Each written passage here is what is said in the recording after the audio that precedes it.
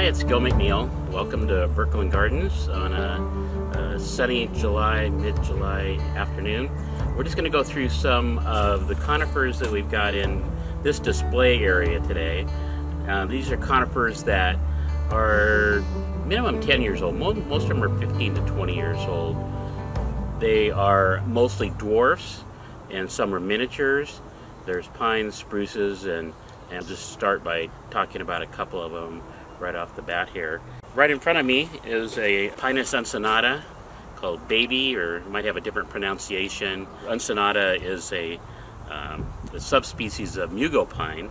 This one's probably close to 20 years old, one to two inches of growth per year, nice dark green color, lots of buds on it, tight tight growth. This would uh, be nice in a landscape anywhere and would work well. That's the different textures that conifers have, different colors, different textures, um, just lend themselves to uh, a really nice landscape. And then in front of me is a spruce that um, it's an oriental spruce called Skylands. This will be a pretty good sized tree eventually you know, you can get 15, 20, and well, well over that height. A nice bright golden yellow color. Um, the inside is green. There's a nice contrast between the green and the gold. These skylands do need some protection when they're young. As they age and they're in the landscape, the sun doesn't bother them, but it, they can get some sunburn when they're young, and typically it doesn't kill them, but they um, they will get uh, that burn look, which is not very desirable. But really nice bright tree, and today with the sunshine on it, it's just, uh, this color is just popping out. I'm going to show you a few um, other spruces. I've got another oriental spruce. We just saw the Skylands a minute ago, and it's, it's behind me. You might still see it. This is a miniature. I don't have lost track of the name of it. I'm just going to uh, be selling it as a miniature oriental spruce. Picea orientalis. I might be able to ID it later on, but it's a really nice tree. It's grown on a what we call a standard. It's uh, grown higher on the trunk to show off this area right here so that it's not so much down in landscape and gets lost, especially with a lot of the miniatures.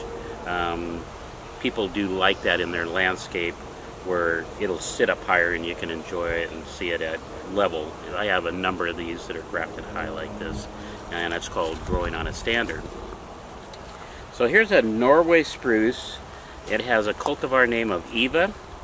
It grows an inch or two a year. Again, it would be a, a plant that would be about 20 years old, so well behaved in a small landscape, small yard. Uh, dark green color, a bit of a globose look, puts out a little bit of a leader. It may have some conical look as it gets older and older. So um, pretty desirable when you have that all those qualities and to have a, a plant this age and it's well behaved. So next to that is another Norway spruce called Cluis. It has an irregular type of growth habit. You can kind of see some odd, you know, branches coming out of here. It grows, again, a little more flattened or globose in its early ages, and this one close to 20 years old as well, and it's putting on some, some height here. And this could be let go, or it could be pruned down, either way, but you would buy, you know, you would want this in your landscape if you if you enjoyed looking at a, a uh, plant with some regular habit. Some of these can be pruned back and that would be just fine to have that irregular growth habit. Can be desirable as well. Staying with the spruces for a little bit this is another Norway spruce that has a very tight compact uh, growth habit. Uh, needles are small branches are small um, everything very very tight here. It's called uh, Dan's dwarf and Picea abies or Norway spruce so um, mounding globose habit Another one with that same habit would be this uh, Colorado spruce. So get a more of a blue tinge to the needles. It is uh, called Green Mound. And so it's that blue-green color, mounding again, slow growing, a plant that grows, you know, two or three inches a year as well. This one would be more on the miniature side, this, this spruce right here. And then right behind me is an oriental spruce um, called Green Knight. And this cultivar was discovered right here in Mount Vernon where we are by Wells Nursery. Uh, nice dark green color, slow growth habit, upright, very, pretty much all we looked at uh, the Skylands a little bit earlier. Similar growth habit to that, maybe a little slower growing, not, won't be as quite as large a tree, but a, but a very nice uh, focal point in the landscape. So moving on, we're going to look at some pines, some dwarf pines now. So this uh, is a black pine, Pinus nigra, with a cultivar name of Brepo. So it is, uh, again, a somewhat flat, mounding, uh, interesting looking at the, particularly, you know, the new growth on it. As you look into the, you can see the contrast between the green, almost a light green, almost a, a, a yellowish or whitish look in there where the buds are. So that is a, a great looking plant. Uh, several inches of growth per year. Um, very nice compact dense, dense plant. And this plant right here is called Little Brawley.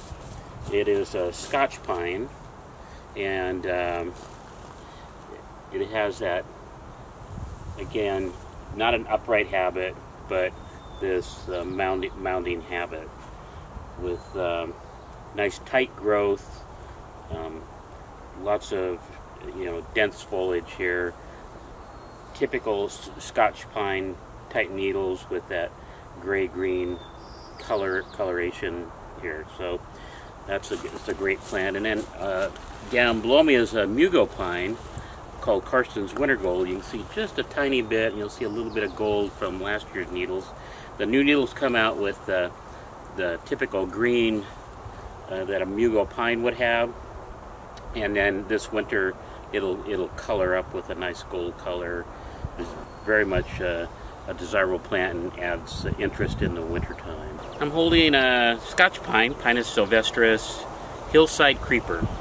Flat, not globose, but flattish growth. And it shows the branching nicely.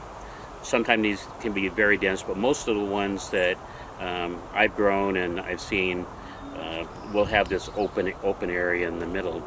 So it has a nice look. It can even be used as a ground cover, but it's a nice specimen tree as well. Grows several inches a year, three, four, five, some something like that. And um, but slow growers. Sometimes this one we talked about when grafting on standards, and at times you'll find this one grafted up a little bit higher, so it's up in the air, but nice and nice and flat.